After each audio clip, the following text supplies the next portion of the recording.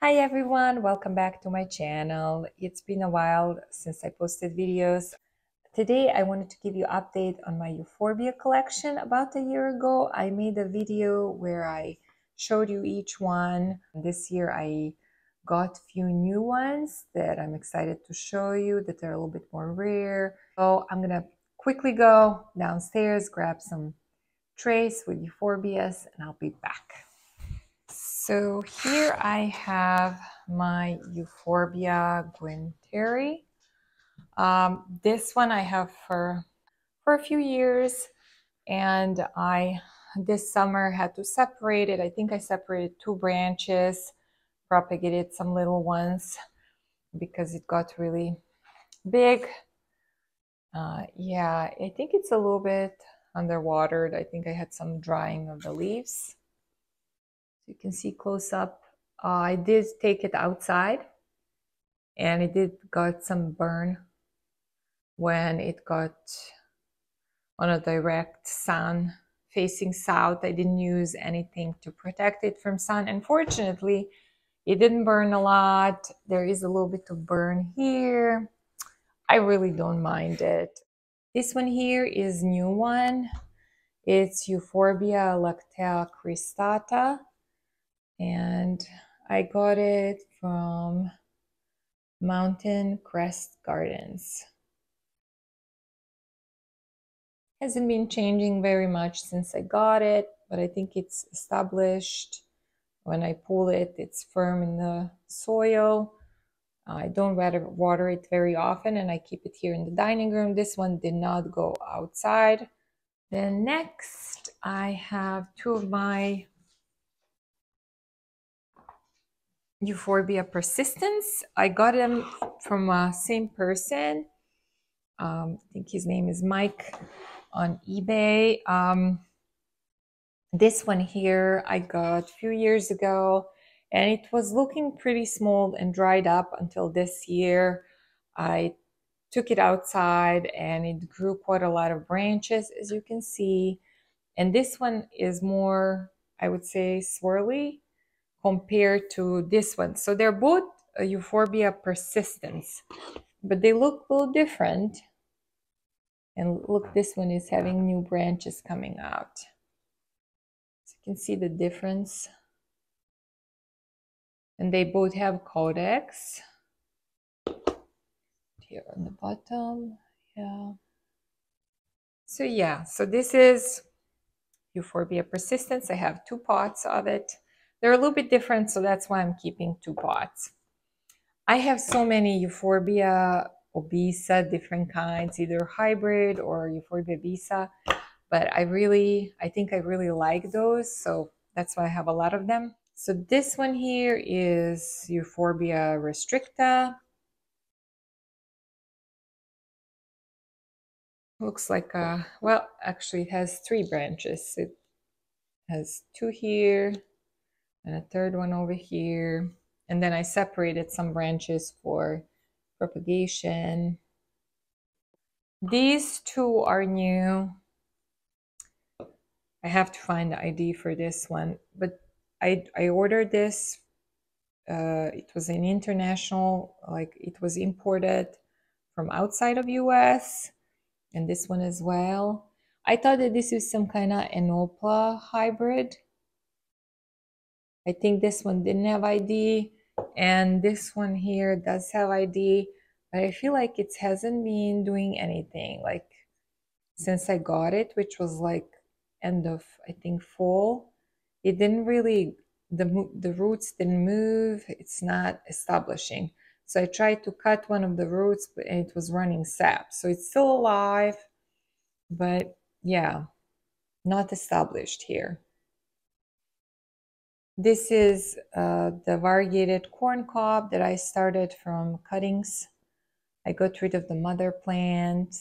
I really don't like how this one looks when it grows, runs amok, you know, and has branches growing branches. I just don't particularly care. It's the same thing with the regular green corn cob. I, uh, it's not variegated. I also tend to propagate it and keep a, cutting or uh, cut the top off and then keep that. So when, when they get too big, I don't like them.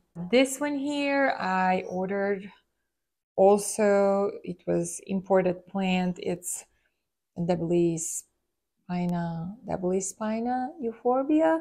I'm really pleased with this purchase. It got established really well, really fast. It's firm in the soil. And the one that I had before, um, it, it just didn't look as perfect. I'm, I'm always uh, looking for some better looking specimens of some of the plants that I already have. And uh, that one is in the conservatory. and It's growing really well. So, so I might propagate some of this one this year. We'll see.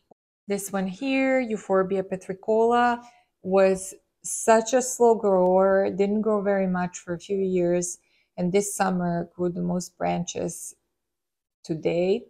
So yeah, I, the most growth I have seen since I got it for, for I think two years. So it's looking cute now. This one didn't really change. It's Euphorbia schinzii.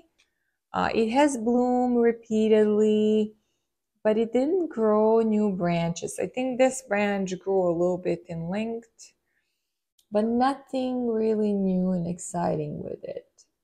So this one here is really exciting. I think about four and a half years ago, I got the mother plant of Euphorbia greenwayi, and that one is a little bit more rare. And it started having some yellow, like corking on most of its body, and I decided to take cuttings and during the summertime, they rooted really fast. Look how pretty it looks. I'm really happy with this one. And then, so it was three cuttings, and each cutting started clustering. So basically, uh, that same cutting grows new pups from the bottom. So this one has one, two, three, three new ones growing. This one, this one has one, and this one has two. So I probably should separate some of this because they're not going to have enough place. But I love how perfect these branches look. Yeah, so the mother plant is in the conservatory and I will probably propagate that one again and maybe make a few more pots of, of like this one. So this is not all my obesas, but I'm going to show you three that are in this tray. So I have this one here that's been blooming. That one was outside this year with the rest of the euphorbias. Then I have this little one that's like um, hybrid obesa. And then I have this one here that has also hybrid that has a lot of pups and it has been blooming. They're all a little bit different. And I have another one in the bedroom and yeah, I think that's it. I think I have four visas total. So here is my Euphorbia meloformis variegated one. I had the one that had only one pup and I gave that one away and I got this one from Mountain Crest Gardens. Uh, they had really nice clusters and they were really good price. Um, last year, like beginning of summer. So hopefully they will have again. Look how cute it is. And then next one here, this is the same one I had last year, really big one. I propagated that one and then I sold the big mother plant. It was just really getting like maybe two feet tall or more and pretty wide. This one grows really tall and grows a lot of branches. So I knew I'm to eventually have to start it from a smaller one. I think I will probably get rid of one of these. I don't know which one yet. I think I like this one better, but yeah. So interesting uh, story that I want to share with you that's going to be also tip for taking care of a problem that you can encounter with euphorbias. So I live in Michigan. Uh, winters are uh, harsh and long, and so I was keeping my euphorbias or a lot of them under lights during the winter time. And uh, last year I lost some that were under lights, and this year I had some that are thriving under lights, some that are uh, doing okay or struggling a little bit, and then some that are really, really unhappy. I didn't know what it is. I thought maybe uh, I overwatered and had a root rot because you know when the when the plant is drying up can be two reasons for drying up. It's really really dehydrated and thirsty or actually there is no root system that can get that water in because there was a root rot at some point and then the roots dried up. So these two particular euphorbias that I really love because they're so pretty and swirly. Uh, one is Euphorbia stellata special, this one here. Uh, you could have seen it uh, in, in my past videos during the summertime. And this one that I got more recently, Groenewaldii. I had this one before, but uh, one I lost, it dried up, and the other one, I think I didn't like how it looks, so I wanted to get a better looking one. I love how this one looks, has like a little caudex and um, four branches that have really nice swirl. So they were getting so soft. I would touch them and, you know, like just they, they were not looking good. So from week to week in the last month, I would come once a week uh, to check all the plants under lights, give them water. I would water, check second day, third day, and it was always so dried up. I didn't know what's going on. At this point, I was considering I'm going to lose them. I was particularly sad about this one. It's a bit more rare. Look at that beautiful swirl. Uh, this one was super soft. So what I decided to do is to do a cut test. Uh, so here's my tip. I took a knife and I cut it really low, close to the soil level. And when I cut it, the sap started running. Uh, that told me that this is still alive. Uh, usually, in my experience, when uh, euphorbia uh, had a root rot, the the roots dry up and the stem, and when you cut it, there is no sap coming out. Sap means that plant is still healthy. So I ended up soaking this plant with water in the water, and then I moved it away from light. I brought it here in the dining room, and guess what happened? In a few days, it plumped up. It's nice and firm as I'm touching it. I am so happy. I really didn't want to lose this one. And I was surprised that it wasn't good because it bloomed, you know, so I, I just really, and it has a nice soil mix. It has a little bit of non-organic mix, but it, I think the problem with some of these uh, plants under lights, even if you have the best lights, like uh, good distance, uh, like spider farmer lights or some other ones, they just force plants to uh, go through this cycle of drying up and getting water much faster than they normally would. Uh, so it's just sort of forced. And uh, I think some are okay with that. And I will, I will show you some that do really well under lights. Some tolerate it, but they're not super happy. And then there are some super unhappy, like this one. Um, I think my, um, was it Horda, was very unhappy last year, ended up losing it. It completely dried up. And, and this whole year, I didn't keep that one under lights. It was in the dining room window. So Groenewaldii, I did the same thing. After this one recovered, I ended up soaking this one as well and then hopefully I was thinking it's going to recover and I put it in the dining room. And yeah, guys, this leaf is now, branch is firm. This one is firm. This one, yes, almost. And this one is still a little soft. But I think it's just getting back to normal. So I'm really happy to save these. So this is Groenewaldii and this is Stellata Special. All right, guys, this is the one that I lost yet last year, and I was so sad. I think after I recorded the video, I realized that it's actually drying up, that it shrinked in size. Uh, and this one is, this is the replacement that I got right after. So I have this one for a while. I had it all through summer, and then I had it, yeah, through fall. So getting close to a year but it has it grew a lot of pups. These two pups were there and they grew bigger. And then it grew one, two, well, actually there's six of little ones growing in there, if you can see. So yeah, this one I noticed is more sensitive to overwatering. It's more sensitive to heat.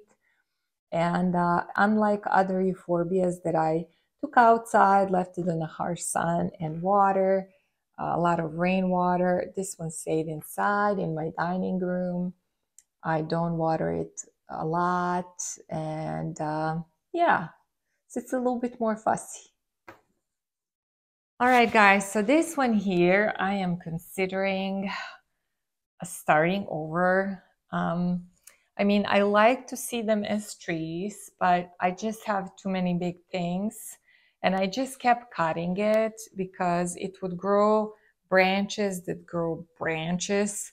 So grandchildren branches. and then it's really hard to keep it in a window sill or around other plants. And then when you cut it, you know, um, yeah, it, it, doesn't look too bad.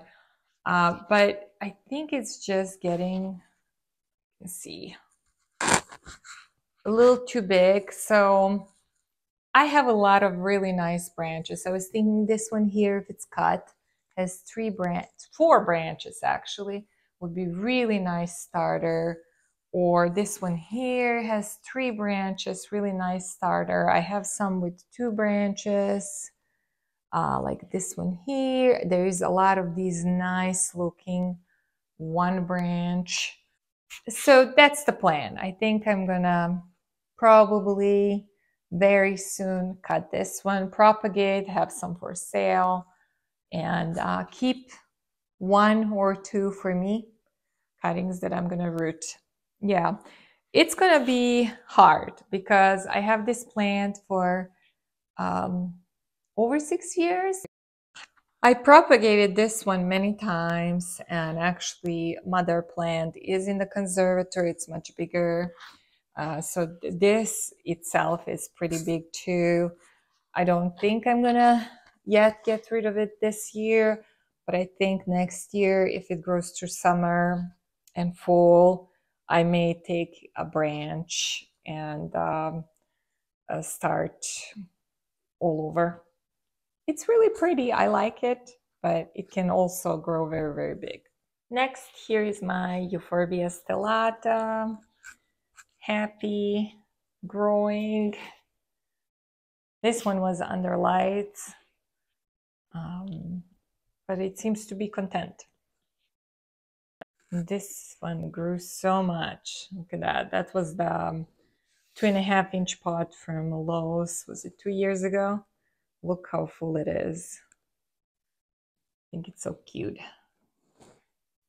Kind of reminds to Cereiformis this one has grown so much as well. I think I probably should separate some of these pups because it's really crowded and then some are gonna be deformed if they're not in wider pot or maybe give it a wider pot. Maybe I could do that. That would look cool. Finding a, some kind of nice wider pot. I have a few of the Euphorbia red trigona. Last time I didn't have it. All of the big mother plant is in conservatory, but I took some cuttings this year. I grew this one that grew branches, and I have another one that I'm going to have for sale. I'm going to probably propagate some more of this one. I kind of missed it, so I decided to start it all over again. I have a lot of Euphorbia nutti. These are some of the rooted cuttings, but I have one nicer one but this is my nicer one um, that has caudex and a lot more branches. I propagate this one a lot. This is one of the most prolific growers, fast growers. So yeah, Here's, here is my one of my aeruginosa. I propagate this one a lot. Mother plant is in the conservatory. Um, I have a bunch of propagations here at home. This is the one that I propagated a year ago, a cutting. So look how full it is. So this one will grow, really grow for you. You get the rooted cutting and you're going to have this in a year. And then you can separate your own branches. It really is pretty. All right, so this one here and this one here, I'm not 100% sure, but they look like they're the same. Uh, so I bought this one a year ago. It's It was sold as Euphorbia Valaris. Yeah, Valaris. I don't know, they look different a little bit, but they're also very similar. So I'm wondering if this is the same plant. We will see. Here's my two variegated uh, Monadenium ritchiei. This one I almost lost. It had a root rot and it so quickly uh, rooted after I did the surgery and separated the pops. So it's happy again. Uh, this is another one that I got. And then I have a regular one that's also been having stress colors. So it looks a little bit like it's variegated, but you can see close up, see variegation on this one. This one is green, okay? And uh, yeah, so I've been, ooh, what happened with this guy? I don't know, that one doesn't look happy. I just um, actually cut off some of this one uh, to to propagate. So yeah, I have one that doesn't look happy here. That looks yellow. I'm gonna have to investigate. But monadenium is like one that I really enjoy. And this is my Euphorbia stuffy. Uh, started growing another branch. It has three branches and it's been blooming a lot this year. I think it's so cool. I love the edges on this one. And just the look, the shape of this one, I really like. There was a similar plant to this one that I didn't have ID last year. That one I lost. From the time I got it, it had some kind of spots. I don't know if it had some kind of pest or what it is, but it never made it. Next one here, I have Euphorbia opuntioides uh, because the branches look like Opuntia cactus. This one has some corking at the bottom of the stems. Um, and I was thinking that it would be cool to try to propagate this one. Has some really nice branches, has beautiful blooms and bloomed a lot this year. So I actually took some cuttings. So we will see. Hopefully I can root this one. Then here is my Monadenium Tanzanian Red. I was really hoping this year to get the branches out of this one, but no branches yet. Just a lot of blooms all through the year. So pretty and a beautiful color. Here's my green corn cob. It was, it just grew, ran, run amok. And it was so big that I cut the top off and that was the top that I rooted with some branches. Yeah, let me show you all my tubiglans hybrids and obesa hybrids. There's so many of them. all right, so this is one of my to be tubiglans obesa hybrids. This one here. So cute. I love these guys. And then I also have this one here. This one, unfortunately, I ended up dropping something on it. Uh, so it broke the branches. So I think I was trying to root some of the branches. So hopefully it will grow some new ones. This one is the darkest, the most stressed color. And then I have these guys. Oh, look how cute they are. They're just slightly different, but I will probably try to propagate a lot of this one because they're just so cute. And then this one here is a new one. I've been trying to search for this one since I saw it at the Grand Rapids Conservatory Botanical Garden. And it's called, I think, Serendipita Serendipita euphorbia. So it reminds a lot to aeruginosa or baioensis, but it has a unique coloring. And I just noticed that it started growing two new branches. So I purchased two rooted cuttings that had the little pops coming, but then here it is, some more growing. Super exciting. This also is purchased from last, was it a year ago, from Lowe's two inch pot. Look at how big it is. Yeah, looks really good. Really happy. Maybe, I don't know. What do you guys say? Should I separate this one or just leave it be? Propagate some and then, I don't know. All right. Well, I have a few more to show you still. So here is my Euphorbia baioensis. I cut uh, the one, the, the stem in the middle. I really didn't like how it looks anymore. And uh, after I cut that middle stem, it just became dried up. I don't think it's a root rod, but it doesn't look very good. So I might just divide it in half and start two pots of baioensis. Um, this is the one that's been really happy under lights and just in general happy. Uh, this is Euphorbia cooperi. Um, I just cut one of the branches that was coming from the bottom and I'm going to try to root it. Uh, really pretty. I have been really enjoying this one. And look at all the growth from the bottom and a big one. Like I said, I removed.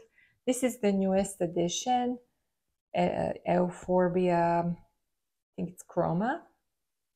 Look at the colors and the pups. This is just a cutting, so it's gonna need to root. This is my Euphorbia ingens monstrosa. This one hasn't changed a lot. Maybe just grew a little bit in height. I think when I got it, maybe it was like that. So it grew a little bit, but it's not a ton of change. This one didn't go outside, just stayed in the dining room. So I don't know, maybe it would grow more if it was outside on the sun and rain. Euphorbia Tanzanian zipper plant. As you can see, it is big. I will probably have to separate some pups from this one, but it's looking really good. I wonder if these kind of plants like Cereiformis and uh, zipper plant would do really, really well in like wider pots because they cluster. Uh, and then I haven't been completely satisfied with this one. Is This is Moroccan um, Euphorbia resinifera Moroccan mound. The reason why I wasn't satisfied completely is gets this corking. It's always dry. I think this is because I didn't water it enough. Um, it also had a really ugly middle stem that I cut so there is a hole there, but it's not really visible. It still looks good. I cut some, I took some cuttings here and I'm propagating them. Inermis hybrid and then Medusa. Uh, this one also likes to be cooler during the winter time. We're in my plant room and I have a few euphorbias here that are too big to bring to the dining room. Here is my sticks on fire that I have cut so much this year. And it's looking good, happy here, has some red. So I decided to put it together with the rest of the plants because I, th I think I can maintain this easily uh, 10 degrees uh, Celsius or 50 Fahrenheit. So I don't have to worry about them being cold. And then here's this one. Seems so happy. This is my variegated ammak. Uh, so it's spending winter here is really tall. No pups yet. I really want some pups. And this one here is just so beautiful. I purchased it as a cutting from Ted's Greenhouses and it's established. Um, here is something I've been doing, guys. Paint by numbers. I would highly recommend this particular paint by numbers. It's a succulent arrangements uh, paint by numbers. it it looked discouraging in the beginning when I started because I started from this corner that didn't have much of anything. But then later on, as I progressed, uh, it turned out really, really good. I really enjoyed doing this one. And it's so calming. So I ended up putting it in the plant room. And it's in IKEA frame. I almost forgot about these that are in the windowsill of the guest room. Um, so I have this one that grew a lot since the last year. I even propagated some branches because it grew a lot of branches and branches grew branches. Looks really pretty. And if you remember my Euphorbia trigona, it got really big. I think it was like four feet tall with a lot of branches and I propagated I think four smaller branches this summer they grew all these extra branches. You can see the dry leaves because I haven't been watering these guys as much. I forgot about them. So they're gonna grow leaves as they grow taller. They're gonna grow them on top. Uh, and then I also got this one this year that's pretty similar to a regular trigona, except that it has variegation. I think it's called super white, something like that. I'm gonna have to find name, but all the leaves that grow, too bad that I can't show you right now, except these two because I didn't water this one as much. So here on the lights, I do have a lot of uh, propagations. Here is some restricta, uh, green wave, baioensis, um, a lot of aeruginosa, nuti, there's some variegated monadenium, regular monadenium, resinifera. So yeah, I do propagate these every, I think, few times a year. I have some other propagations here. I, I suppose I didn't mention this one. I do have this euphorbia as well. I don't like the shape of this one, so I think I'm gonna root this cutting. Um, and then, yeah, I'm rooting this one. And I haven't shown you the big mother plant that I'm getting rid of. This one is really fast, aggressive grower. And it grows like a big tree eventually if you keep it. So that's it guys. I hope you enjoyed the Euphorbia tour. If you have any questions, or if you would like to uh, hear more tips about how to propagate or grow euphorbias, I'm going to post in the description link to my last year's video that I think was more detailed when it comes to tips. See you next time.